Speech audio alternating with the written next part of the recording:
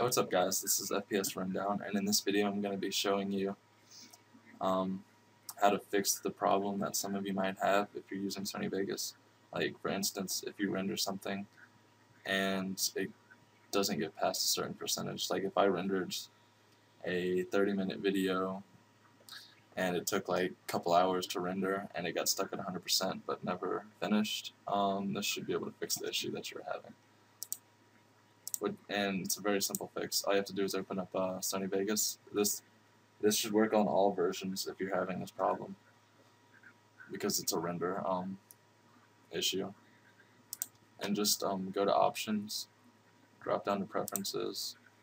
When this comes up, go to video, change.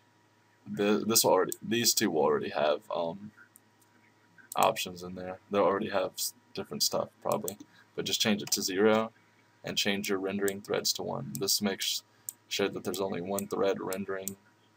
And mine was set at 16 so there was there were 16 threads which are 16 processes um, rendering the video. And if you set it to 1 there shouldn't be much issues. It's, it's only one thread one processor or one process. So there's no um, issues with it messing up.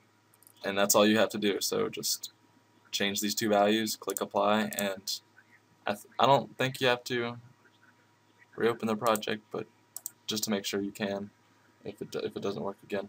But this worked for me when I was rendering my uh, League of Legends video that took about, I think it's 22 minutes long, something like that. And it got stuck at 100%, and this fixed the um, issue. So I hope this works. Uh, comment, rate, subscribe if it does. Please stay subscribed. I'm making videos every day, or at least trying to. Um, thanks again.